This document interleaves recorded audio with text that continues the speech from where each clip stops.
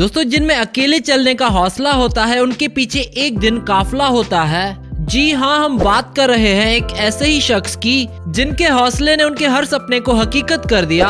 हम बात कर रहे हैं एले गोनी की, और बिग बॉस में एले गोनी और जासमिन भासन सबसे ज़्यादा पसंद किए जाने वाले कॉन्टेस्टेंट्स हैं। तो चलिए, आज की हमारी इस लाइफ स्टाइल वीडियो में हम बात करते हैं बिग बॉस के पॉपुलर कॉन्टेस्टेंट एले गोनी की ज़िंदगी के बारे में। लेकिन वीडियो स्टार्ट करने से पहले अगर आप भी एले या फिर जासमिन को सपोर्ट कर रहे हैं तो इस वीडियो को कर दो लाइक तो चलिए वीडियो स्टार्ट करते हैं। एले का जन्म जम्मू में हुआ था और एले अपनी माँ से बेहद करीब हैं। हर अच्छे बेटे की तरह एले भी अपनी कामयाबी का राज, अपनी माँ की दुआओं को ही मानते हैं। एल अपनी स्कूलिंग जम्मू में पूरी करने के बाद कॉलेज की पढ़ाई करने के लिए चंडीगढ़ शिफ्ट हो गए। वहाँ उन्हें उनके अच्छे लुक और पर्सनैलिटी की वजह से कई मॉडलिंग ऑफर्स आने लगी। एल पेशे से एक एक्टर और मॉडल हैं। अब चलिए दोस्तों, बात कर लेते हैं एलए के कैरियर के बारे में। चंडीगढ़ में रहते हुए एलए को पंजाबी भाषा में अच्छी कमांड मिल गई थी। इसी वजह से उन्हें टीवी की क्वीन एकता कपूर का शो, ये है मोहब्बत ऑफ़र हुआ।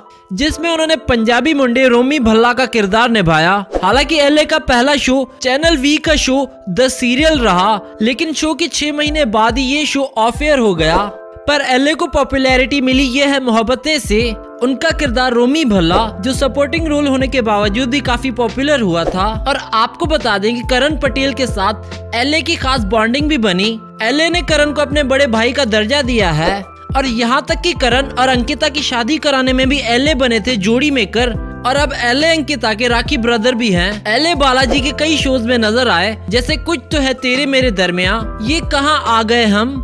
दिल ही तो है। और नागिन थ्री जैसे कई शोज़, पैसा और फेम तो एल को मिल ही रहा था। और साथ ही साथ एल कई कंट्रोवर्सीज में भी पड़ गए। जैसे कि शुरुआती दिनों में एल को काफ़ी दिक्कत हुई मुंबई में रहने के लिए। कई रिपोर्ट्स में ये आया कि एलए के मुताबिक उन्हें कश्मीरी मुस्लिम होने का खामियाजा उठाना पड़ा, जिस वजह से उन्हें मुंबई में कहीं रहने के लिए घर नहीं मिल रहा था। खबरों के अनुसार, जिस घर में एलए रहते थे, वो एक रेंटेड फ्लैट था और उनके लैंडलॉर्ड ने उन्हें घर को खाली करने का कह दिया। सिर्फ़ इसी वजह से कि एलए एक कश्मीरी मुस्लिम थे। एलए ने मीडिया में आकर इस मुद्दे पर बात भी की। उस समय एलए के बड़े भाई अरसलन, जो ऑलरेडी मुंबई में काफ़ी सालों से रहते थे उन्होंने एलए को अपने घर में जगह दी और एलए के कुछ स्टेटमेंट्स ने कई कंट्रोवर्सीज भी खड़ी करी।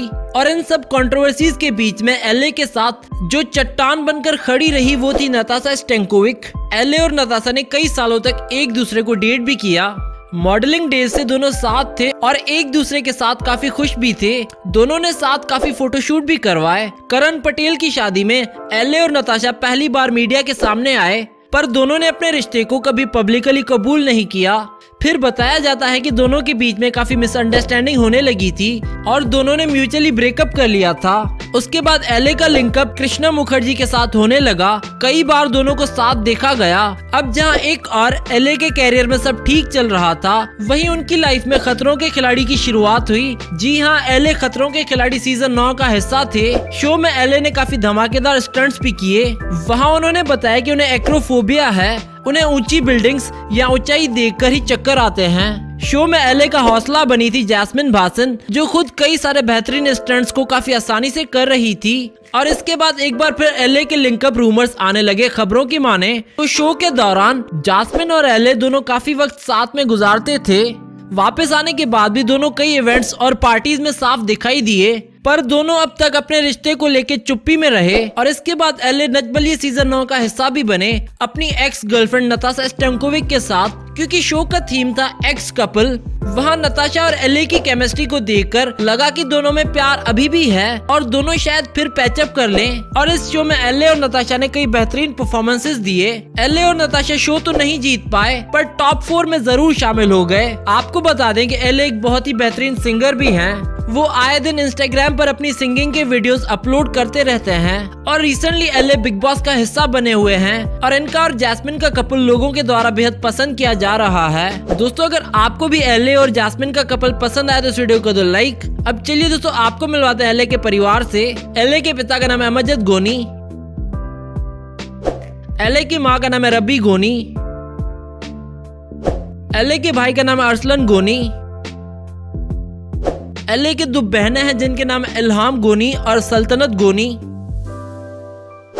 अब चलिए दोस्तों, आपको एलए का घर दिखाते हैं। एलए अपने परिवार के साथ मुंबई में एक शानदार अपार्टमेंट में रहते हैं, जिसकी कीमत है पाँच करोड़ रुपए। और इन फ़ोटोज़ और वीडियोज़ में आप इनके घर की कुछ झलक देख सकते हैं।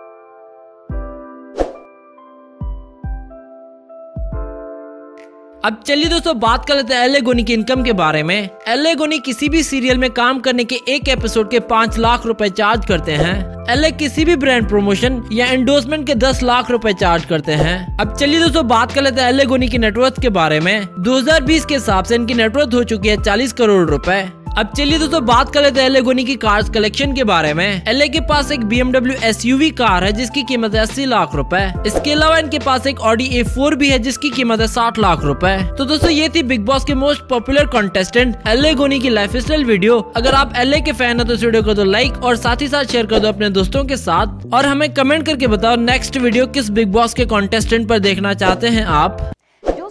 Subscribe our channel and we hope that you like our videos and also don't forget to visit our website celebritynews.blogspot.com which is shown in the video and don't forget to follow us on Facebook and Twitter.